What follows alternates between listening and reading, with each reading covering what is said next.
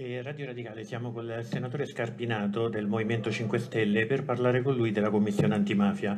Allora, noi abbiamo visto che in queste settimane c'è stato eh, qualche problema per varie commissioni, eh, il Copasir è scaduto dopo 20 giorni dalla nascita del governo, non è stata a, ancora fatta, eh, diciamo, avviato l'iter della legge istitutiva della Commissione Antimafia. È un ritardo grave, come lo, giudica visto che lei ieri ha fatto un sollecito? Il primo giorno del mio insediamento ho depositato questo progetto di legge per la costituzione della nuova commissione parlamentare antimafia.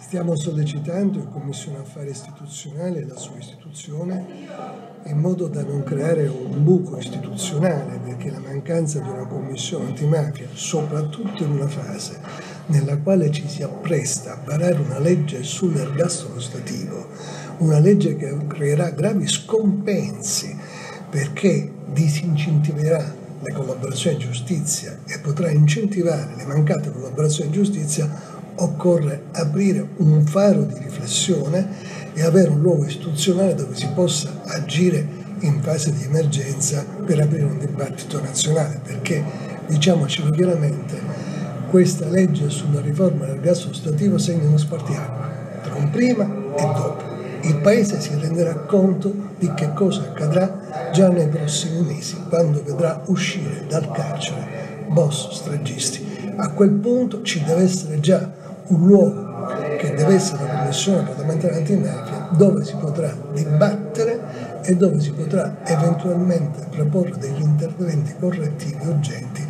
e poi riportare al centro dell'agenda politica un tema mafia che sembra essere scomparso ogni giorno, non dico ogni giorno, ma frequentemente vengono fatte operazioni di mafia importanti di cui la stampa non dà più notizie, come se la mafia in questo paese fosse diventata una consuetudine normalizzata e come se il paese si fosse rassegnato. Ecco, bisogna aprire un luogo di confronto e quindi noi sollecitiamo l'istruzione urgente della ricostituzione della Commissione parlamentare eh, sua, nel suo disegno di legge c'è qualche innovazione rispetto ai compiti precedenti, delle precedenti commissioni bicamerali antimafia? Sì, c'è, perché la mafia della Prima Repubblica, la mafia per intenderci che nell'immaginario collettivo era incarnata da personaggi come Rina, violenta, delle estorsioni, sta cambiando come sta cambiando il paese, il mondo. Abbiamo nuove forme di crimine organizzato che eh, non sono più inquadrabili nelle fattispecie che abbiamo pensato prima Repubblica, 416 bis, che non sono inquadrabili neanche nell'associazione a delinquere semplice e per le quali sono state trovate nuove definizioni in ambito criminologico, si parla di sistemi criminali, si, di, si parla di comitati criminaffaristici, la stampa li chiama P3, P4. Occorre quindi fare un'analisi su queste nuove forme criminali di soggettività criminale più complesse, dove si incontrano colletti bianchi e alte gerarchie mafiose che non usano la violenza e quindi non rientrano nel 416 bis, che non si limitano a commettere 3-4 reati e non rientrano nel 416 associazioni semplici, ma che hanno lo scopo di creare dei centri occulti di potere per controllare interi comparti della produzione nei grandi affari. Lì abbiamo un buco normativo, per questo io ho chiesto di inserire, chiamiamole nuove mafie, ma io direi di inserire le nuove forme del crimine organizzato che caratterizzano il terzo millennio. E ho anche proposto, a proposito di, per quanto riguarda la stampa, non soltanto di porre a mente i casi in cui ci sono giornalisti che vengono intimiditi dai mafiosi, ma anche di aprire un faro di riflessione, di riflessione sull'eventuale infiltrazione di centri di potere occulto all'interno dei media e quindi della possibilità di un condizionamento dell'informazione da parte di poteri occulti. Mm. Questo avviene secondo lei già? Questo è avvenuto nella storia di questo paese. Ci siamo dimenticati che la P2 si stava in padrone del Corriere la Sera.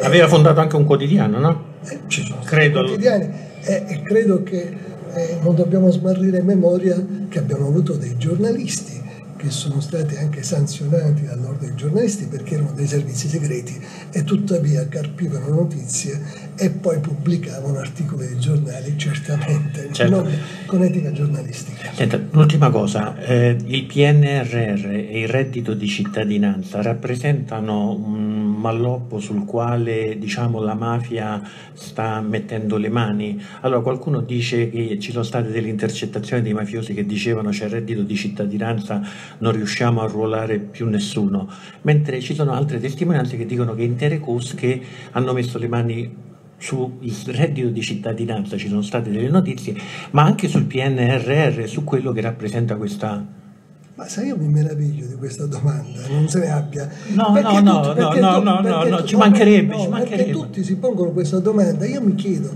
No, io... No, io spiego, sì, sì, rispondo. Sì, sì, ma sai qual è il vero pericolo?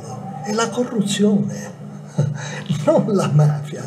È la corruzione che rappresenta il vero pericolo al PNRR, cioè i colletti bianchi che nelle stanze del potere e muovendosi nelle, nelle commissioni o nei centri di amministrazione sono in grado di drenare quote significative al PNR. Noi dobbiamo cominciare a pensare che la corruzione è una forma di criminalità organizzata.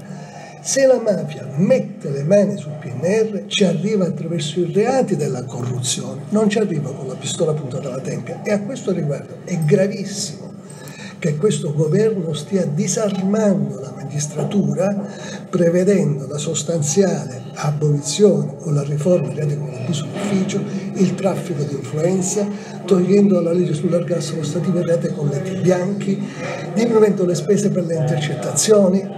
Dobbiamo cominciare a pensare che il pericolo per i fondi pubblici, prima ancora che per i mafiosi, è costituito dai colletti bianchi e la mafia che pensa ha capito che deve seguire le stesse strade dei colletti bianchi perché i colletti bianchi hanno azzerato il rischio penale e si autotutelano e i mafiosi che ragionano hanno capito che la strada è quella.